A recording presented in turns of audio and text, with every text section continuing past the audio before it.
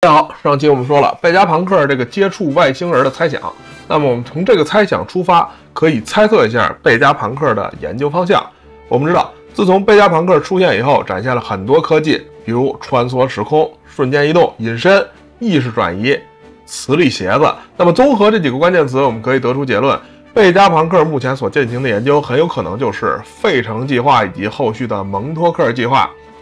依然是考虑到阿斯加德来的朋友们，咱们先来洗稿一下。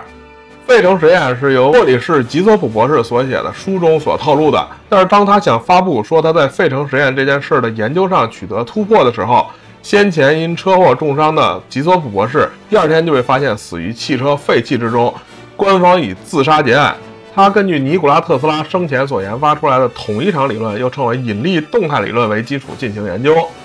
一九四三年，特斯拉过世那年，费城计划由爱因斯坦主持。这个理论假设磁场、电磁波跟地心引力互有关系，通过特别的仪器和足够量的能量，能够使光线弯曲，而让实际的物质变成隐形。美国海军认为这个应用在战时有极其显著的价值，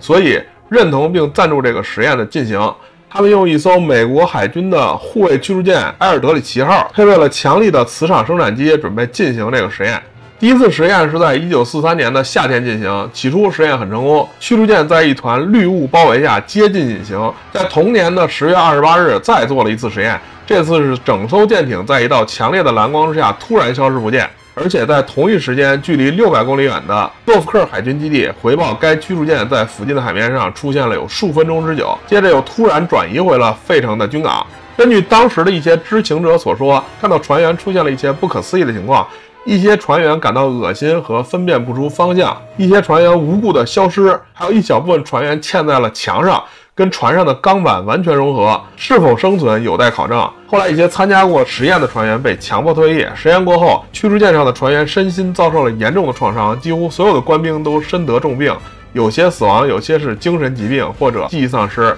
据传言，有人目击这些船员在酒吧或家中会突然的消失与出现，这个就是费城实验。也就是说，他想做一个隐形的实验，但是结果变成了瞬移的结果。那么，这个都市传说的背后，也就是费城实验的下一步，就是这个蒙托克计划。蒙托克计划是一系列传闻由美国政府机密执行的计划，与蒙托克空军基地进行。包括时光旅行等项目的研究，有关传闻都是基于一位名为雅克瓦莱的人在费城实验结束后的五十年所发表的描述。由于没有任何直接证据，且实验内容缺乏严谨的科学理论基础，该工程的传闻的真实性因而普遍受到质疑，并被人们认为是都市传说。那么，这个蒙托克计划研究的项目就是：第一，时空旅行；第二，时光隧道；第三，瞬间移动，以及通过时光隧道接触外星人。